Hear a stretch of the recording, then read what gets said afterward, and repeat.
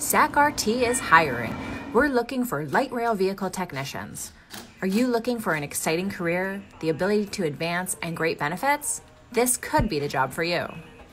This position inspects, tests, diagnoses, maintains, and repairs all systems and components of our light rail vehicles and other district equipment.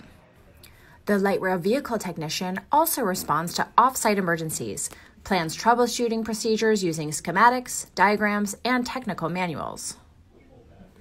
There are some minimum requirements for this position.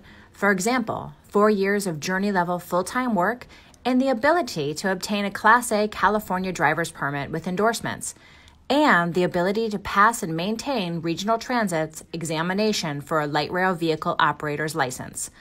More information about the position and requirements is available at sacrt.com/careers. Apply today.